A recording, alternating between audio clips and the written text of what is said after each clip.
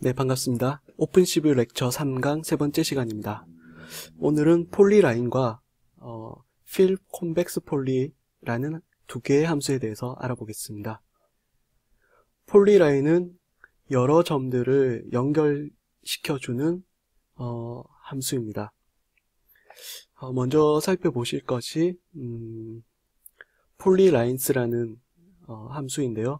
여기 하나, 둘, 셋, 넷, 다섯 번째 파라미터에 폴스라고 하면 어, 시작점과 끝점을 연결해 주지 않고요. 여기에 보시는 것 같이 시작점과 끝점이 연결이 되지 않는 형태로 그려주고요. 폴리라인을 폴, 어, true라고 하면 시작점과 끝점을 연결시켜 줍니다. 그래서 폐쇄적인 그런 라인을 그려주고 주게 됩니다. 저희 있는 코드를 실제 Visual Studio에서 한번 실습해 보겠습니다.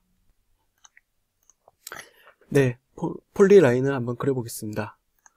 Point라는 구조체를 STL의 벡터로 만들어가지고 어, push back을 이용을 해서 좌표를 하나, 둘, 셋, 넷, 다섯, 여섯 개를 push back 했습니다. 그 벡터를 어, Mat으로 casting하고 데이터 어, 주소를 그 Point의 주소로 다시 casting해서 어, 넣었습니다. 음, 그것을 이제 polyline에다가 넣어주시면 됩니다. 좀 복잡하죠? 그런데 이제 이 문법을 그냥 어, 카피해서 쓰시면 됩니다.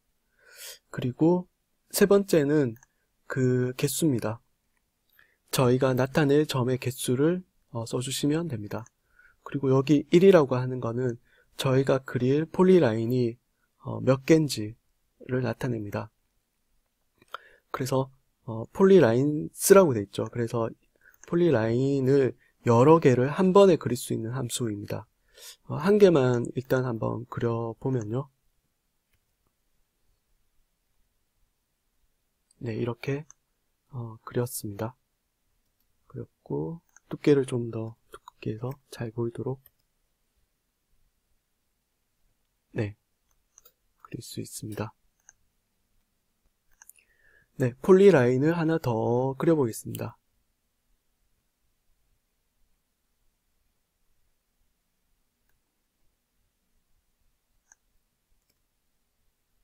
음, 네. 하나 더 그려보겠습니다. contour 안에 있는 그 값을 clear로 다 삭제한 다음에 다시 3개의 좌표를 push back을 했고요. 어, 위에서 했던 것 같이 어, Point의 Point로 어, 좌표의 좌표 어, 자료형 구조체의 어, 주소 타입으로 캐스팅해서 PTS에 넣어서 그 PTS에 다시 또 주소죠. 좀 복잡합니다. 그걸로 이제 그렸습니다. 앞에서는 폴스 했기 때문에 이거는 true로 차이점을 한번 보겠습니다. 해서 이것도 좀 두껍게 그려보면 두 개의 폴리라인이 그려집니다. 어, 그런데 여기서 음, 좀 두껍게 하고요. 이걸 클리어를 안 시키면 두 번째 폴리 라인에서 첫 번째 좌표들까지 모두 다 몽땅 다 그리게 되겠죠? 아, 좀 헷갈리는데요. 이거를 1로 BGR 아, RG 아, BGR BG 예.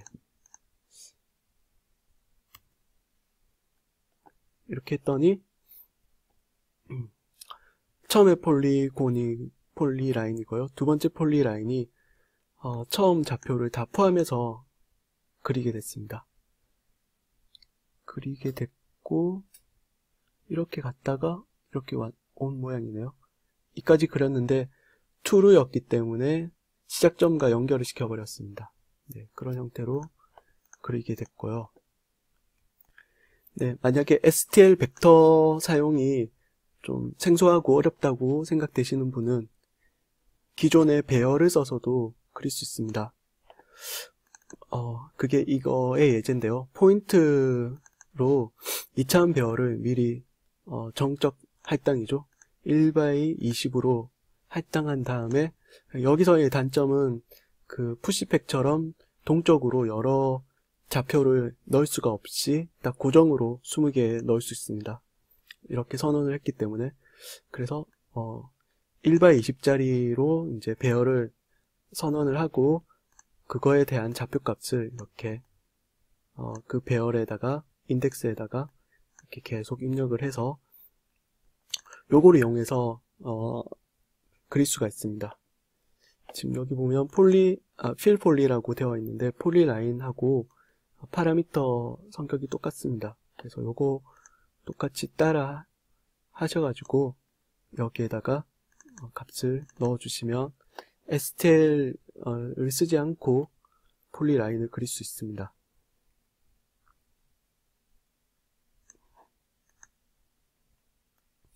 자, 그 다음은 polyline을 이렇게 하나하나씩 그렸는데요.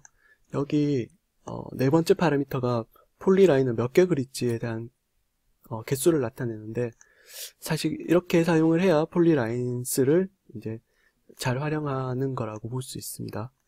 그 부분을 이제 예제 코드를 보면서 어, 살펴보겠습니다. 음...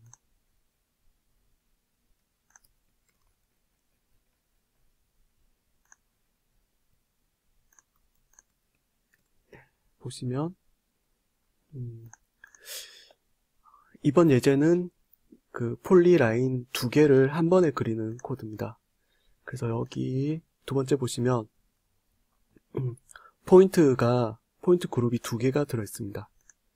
두 개가 들어 있고 음, 세 번째 파라미터 보면 그 각 polyline 그룹에 해당되는 어, 점의 개수도 이렇게 배열로 되어 있습니다.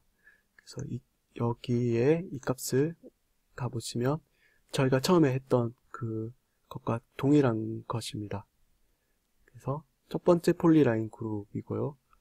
이거는 두 번째 polyline 그룹입니다.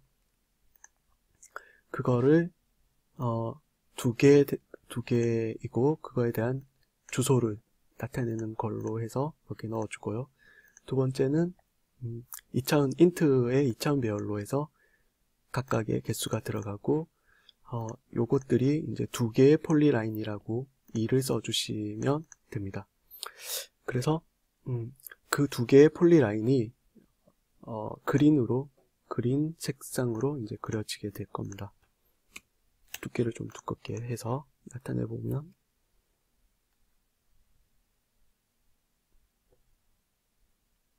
네 이렇게 첫 번째 폴리라인 두 번째 폴리라인이 이제 하나의 함수로 한 번에 그릴 수가 있습니다. 자, 이렇게 두 개의 폴리라인을 그릴 때 유용을, 유용, 유용하고요. 그런데, 어, 폴리라인 이게 저는 우리, 어, 사용하기 불편하다고 하시는 분은 포문을 이용해서 그냥 포문으로 라인 함수를 써서 어, polyline을 그릴 수도 있습니다. 네. contour 점 사이즈 개수만큼 이제 for를 돌리는데 어, 저희가 앞에서 살펴봤던 라인 함수를 써서요. 어, img에다가 첫 번째 주소는 첫 번째 시작점은 contour 이제 i 번째이고요. 두 번째 컨투어 어, 선은 아이고 i 플러스 1만큼 선을 긋겠다 하고요. 그 다음에 빨간색으로 5,0,0 두께는 한 이 정도 해서 마이너스 1까지 끄면 마지막 마지막 그 점이 어, 꺼지지가 않겠죠. 그래서 이거에 대한 마지막 점까지 꺼라 라고 하면 폴리라인하고 같은 효과로 어, 그을 수 있습니다. 네, 그을 수가 있습니다. 음. 네, 그래서 폴리라인에 대해서 한번 살펴봤고요. 자, 그 다음은 필 컨벡스 폴리를 살펴보겠습니다. 이거는 간단합니다. 간단하게 이렇게 배열, 포인트 배열을 만들고 그 변수를 여기다가 써주고요. 그 다음에 개수를 써주고 색상을 써주면 이렇게 어, 색상이 채워진 형태로 어, 그려지게 됩니다. 자, 코드를 보면서 살펴보겠습니다.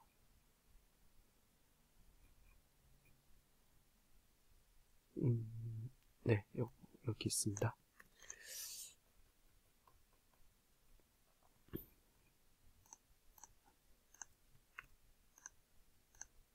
네, 예제랑 같이 이렇게 어, 배열을 만들어서 넣어주면 됩니다. 네. 그래서 한번 돌려볼게요.